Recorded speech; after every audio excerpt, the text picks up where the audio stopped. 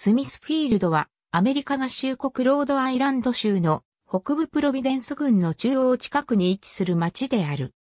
2010年の国勢調査では人口21,430人であり、州内の市長を合わせて第17位だった。町の中にエスモンド、ジョージアビル、マウンテンデール、ハントンシティ、スティルウォーター、グリーンビルという歴史あるビレッジが入っている。グリーンビルの図書館、1908年の絵はがき現在のスミスフィールドを構成する地域では、ジョン・ステアなどイギリスからの開拓者数人が入ったのが1636年であり、まず農業社会としてロンドンのスミスフィールドから名前が取られた。1731年まではプロビデンスの領域に入っていたが、その時に別の町として法人化された。ロードアイランド最高裁判所の首席判事にもなったペレグ・アーノルドが初期のスミスフィールドに住んでおり、1690年に建てた家が現在も残っている。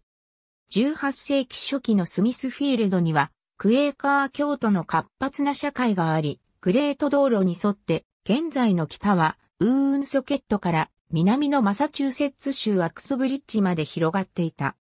このクエーカー教徒の社会及びその教徒は奴隷制度廃止運動に影響力を持つようになり、エフィンガム・カプロンやアビー・ケリー・フォスターなどの教徒がおり、また、スーザン・ビー・アンソニーが初期の教徒として生まれたマサチューセッツ州、アダムズなど、他のクエーカー教徒開拓地を隆盛させた。エリザベス・バファム・チェイスは、奴隷制度廃止運動にも、女性の権利へ、運動にも影響力を持ったものとして、スミスフィールド出身のよく知られた人物だった。19世紀に入って、町にもいくつかの工場が建てられた。19世紀半ばのススミスフィールドとリンカーンは別の町として分離設立された。植民地時代のゴーストタウンであるハントンシティが現在のスミスフィールド町域に入っているが、18世紀は完全に別の町だった。スミスフィールドのマサチューセッツ州との境界側出身の独立戦争軍人、ジェームズ・バクストン大尉は、マサチューセッツ民兵及び大陸軍のベテランとして終わり、マサチューセッツ州知事のジョン・ハンコックから、マサチューセッツ州ウースター郡の土地300エーカーを与えられた。このために、バクストンはロードアイランドの独立戦争軍人の歴史から外されている。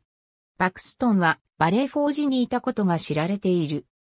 アメリカ合衆国国勢調査局によれば、地域全面積は27.8平方マイルであり、このうち陸地26.6平方マイル、水域は1.2平方マイルで、水域率は4.31%である。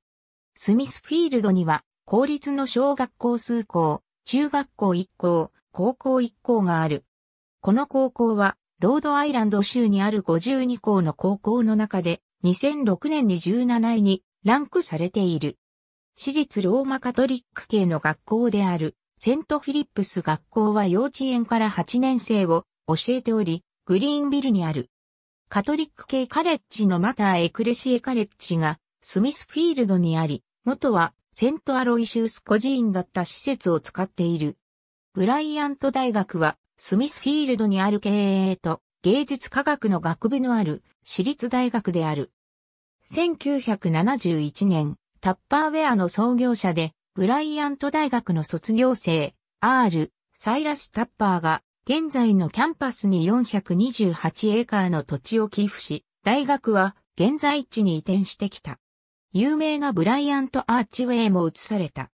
昔のエミン家やジョセフ・モーリー大尉の定地が、現在のスミスフィールドキャンパスをなす敷地の大半を占めていた。19世紀後半から20世紀半ばまで、この敷地は購入され農耕が行われていた。今日、当初いたエミン家の多くの子孫が、現在も大学キャンパス近くに住んでいる。